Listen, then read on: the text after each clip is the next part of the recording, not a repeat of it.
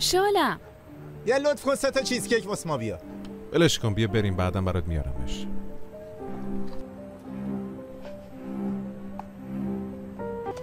احمقای بیشور. بی تربیتا. از قصد این کارا رو می‌کنن که من ناراحت شم. ولی نمی‌دونن که اصلا برام مهم نیستن. بهتر لنگه همدیگه رو پیدا کردن. خدا خوشبختشون کنه. به خدا اگه اینقدر ناراحت باشم.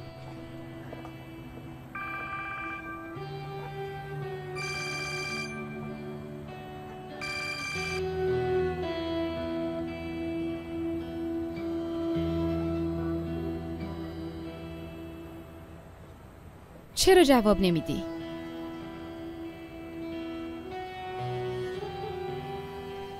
امشب چرا اینجوری؟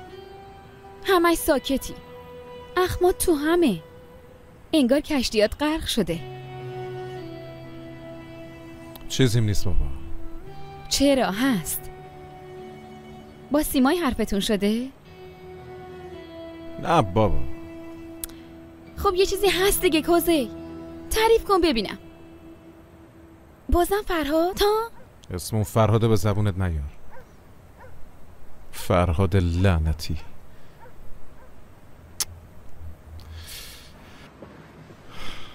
اون قضیهش تموم شده. چیزی نیست. نگرانش نباش. ذهنم درگیر یه چیز دیگه است. خب چی شده کوزه؟ چرا به من نمیگی؟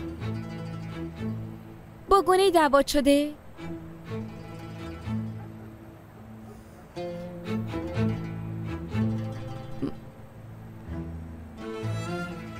از من ناراحتی؟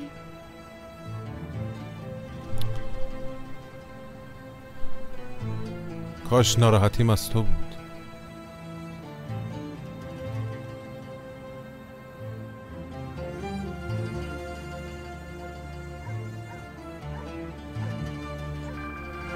آه. ولش کن.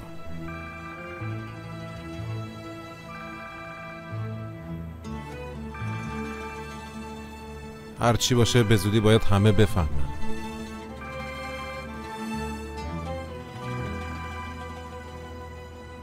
اینجوری که من نگران میشم. نگران نشو. در مورد کاره. نگران نباش.